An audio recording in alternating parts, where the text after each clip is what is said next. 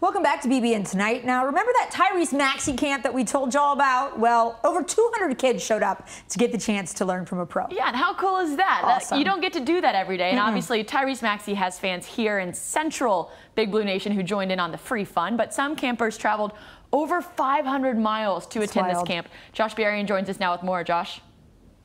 After interviewing him Saturday, I see why Big Blue Nation love themselves some Tyrese Maxey. The guy just has this aura about him where no matter what room he's in, his presence alone changes the atmosphere. His infectious smile and playfulness brought joy to everyone in the Joe Craft Center Saturday as he hosted his free 1% skills camp to Lexington youth. Take a look.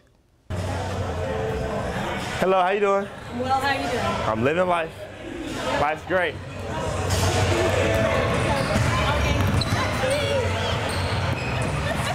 What's up?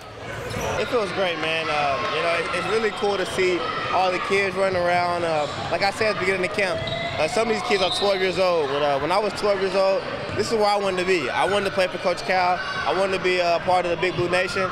And uh, for them to be able to come here and get an experience like this uh, in Joe Craft and uh, you know, be able to touch a player in the NBA, I feel like it's a great experience. Yeah, it meant a lot to me because I was able to go to a few NBA camps like this when I was younger.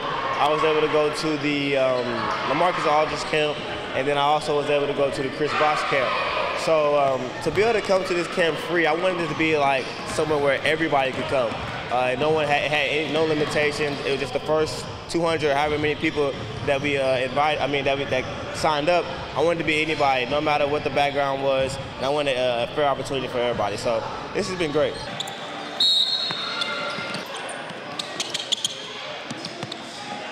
Can I play? You can come back in, okay? Let me let me let me have this. Come on, red team. So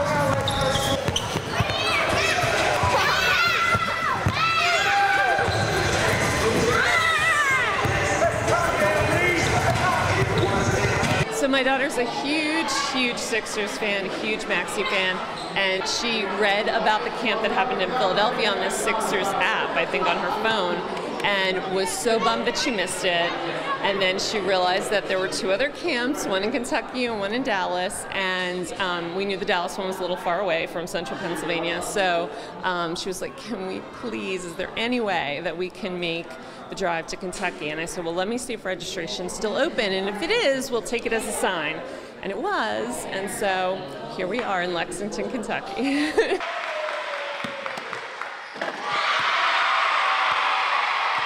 What makes you such a Tyrese Maxey fan? Um, I like how like spirited and like joyful he is, and he's like he always brings energy. I try to watch every game on TV, and then I've been to one Sixers game, the first playoff game last season, and then we're going to another one this season. Were you able to get one of the prizes uh, that was handed out? Yeah, I did. What was the prize for? The female MVP.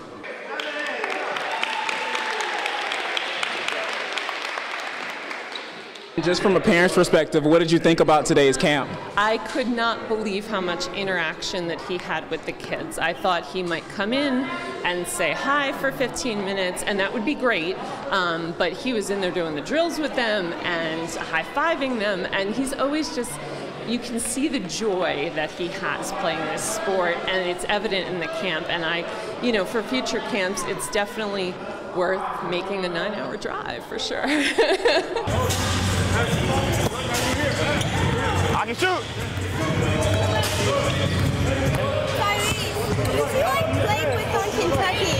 Uh, Immanuel Quickley, Ashton Hagans, all of them. Which one, Jo- which one, Joe Kid? My granddaughter, Granddaughter. she for Hoop Dreams. She's probably the littlest one. See the one right there with the um, with next to the young lady with the uh, Phillies. Oh, right here? Okay, yeah, yeah, yeah. She's been playing now for about two years for Hoop Two years, Dreams. She's okay. a traveler. Okay. What did you enjoy most about the camp? Um, meeting him and learning new skills. I really enjoyed the um, 5v5. I thought it was fun because I got to steal the ball from Tyrese. That was fun because I got to play with the NBA star and playing with other people I didn't know. So, yeah. What's the most important lesson that you learned from today's camp? Um, to always have a, to be kind and always treat people the way you want to be treated. Somebody break this down. Go. There we go. Hey, we going to the gym. It doesn't matter what you do.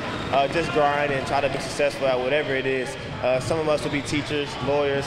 Some of us will build companies, entrepreneurs. Um, but still, we all have the same goal: is to get 1% better every single day and uh, be the best that we could possibly be at it. I mean, it's just crazy, man. To be honest with you, like uh, to see everybody with Tyrese Maxey across their chest, and uh, to be back here at, at UK at Joe Craft, where I used to work out, where I used to practice every single day.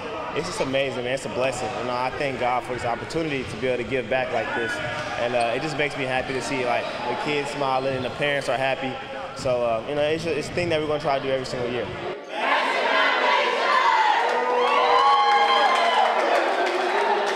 Maxey told campers that if basketball hadn't worked out, he probably would have been a teacher or physical education instructor because he loves working with kids. Thankfully for him and Kentucky basketball, his hoop dreams came true, and now thousands of kids look up to him as a role model. For BBN Tonight, I'm Josh Berrien. Maggie, Anna, back to you. Josh, thank you so much. That was great stuff. We love Tyrese. We love his smile. How we love could his you joy. not? He's How great. could you not? All right, we'll have more BBN tonight right after this.